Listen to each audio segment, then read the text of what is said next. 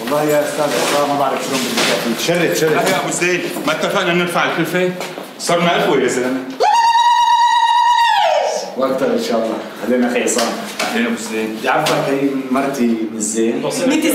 الله معكم الله يعطيكم العافية يا شباب. يعطيكم العافية. نجوى مرت رفيقي بس هي رح تمسك المحل. أهلا وسهلا. مرت مين بلا زهرة؟ أه مرت رفيقي جابر ما بتعرفه.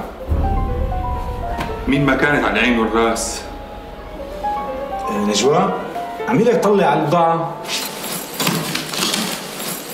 أه أخي عصام إذا عجبتنا البضاعة شو الترتيب مشان الحساب والتصافي والقصص؟ أول شيء كل قطعة لها سعر. يعني في نوع أول وفي نوع ثاني وفي فرافيك وهدول شلون ما انباعوا نعمة كريم؟ أه لا ولا يهمك. أختي نجوى عندها خبرة كثير منيحة بالأواعي. كثير منيح. بس نحن عم نذكر. يعني مثلا حق الطرد 20000 ليرة. أول شغلة بتعملوها بتنقوا البضاعة الحلوة والمنيحة.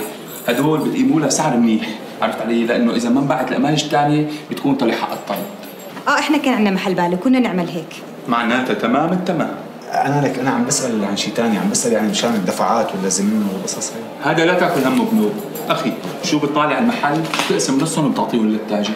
هو قلبه لله وبده يساعد. أبو زين إيش رأيك؟ أي أحلى؟ هذا الفوشيا يلي طفي الضوء والحقني ولا هذا الأخضرين البيبي دور يا حلو حلو. آه بعرف بعرف إنه حلو. حلو خلص إلك. إيه إلي هاتو. إيش بك أبو زين؟ إيش بك عم تغمزني وتعضعض لي؟ على شفافك ما هو عيب عليك. لك خلص عم لك إلك. هذا أعطيك إياه بس هلا هيك؟ هيك بتاخده من إيدي وبتكسره بخاطري؟ بدل ما تقلي يا حبيبتي يا روحي يا نور عيوني يا مرتي.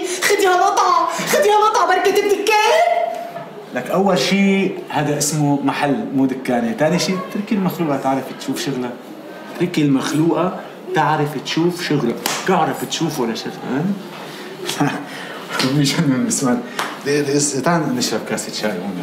تفضل. إيش رأيك نجوى حلو؟ كل شيء عليك حلو. كل شيء عليك حلو. ابوس روحك شو قصدك؟